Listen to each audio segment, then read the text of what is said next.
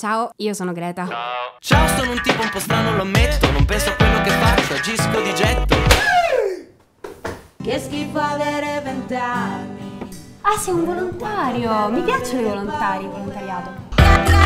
Se vuoi diventare volontaria special stage dovrai superare 5 difficilissime prove. Non mi posso fermare.